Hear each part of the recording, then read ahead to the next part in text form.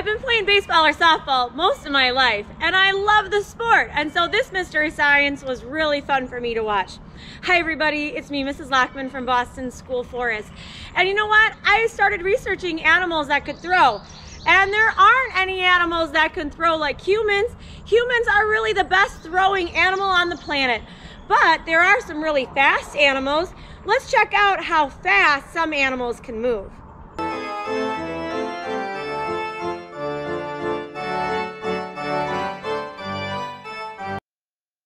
We have a lot of wild turkey that live here at Boston School Forest, and no one ever thinks about turkeys as being fast. But turkeys have very long legs and three grippy toes and a, and a large thigh muscle that helps them to run 25 miles per hour. And that's their first defense against predators. They run away.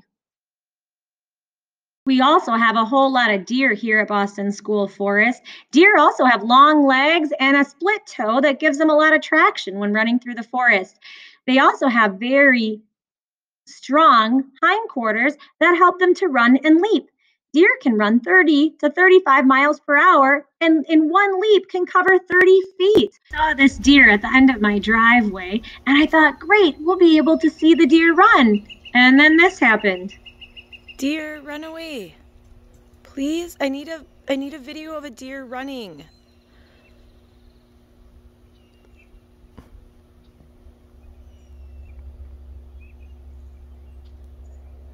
Please run away.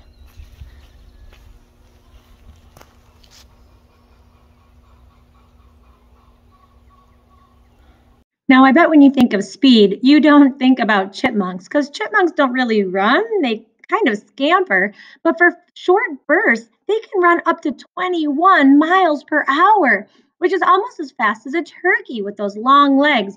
But chipmunks have very short legs and grippy paws, and they have a super high metabolism, which means that they can move around pretty quickly. And they can do that for a short burst at a time to find food or to escape from a predator.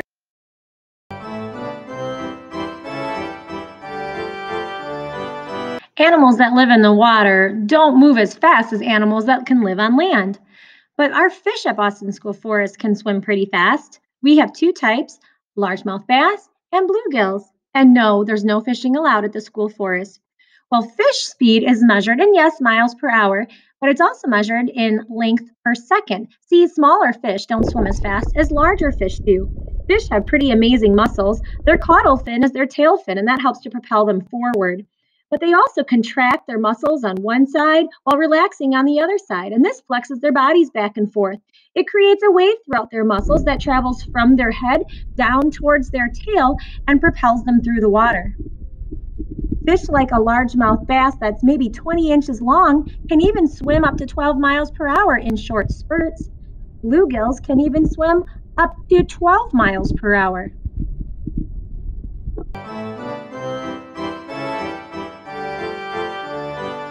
Animals that can fly tend to move faster than animals that swim or have to stay on the ground. This red tailed hawk has a whole bunch of different speeds it can fly. When it soars, it spreads its wingtips wide and, expands its primary feathers, and it can soar on thermals that take it really high in the sky and can fly as slow as 10 miles an hour or as fast as 60 miles per hour.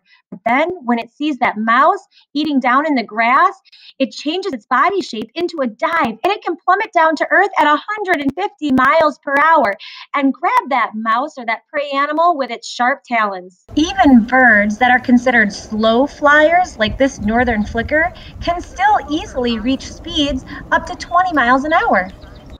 So even though most animals can't throw a baseball or a softball, they sure can move pretty fast and have unique ways of doing so. Well, that's all for this week. Have a great day.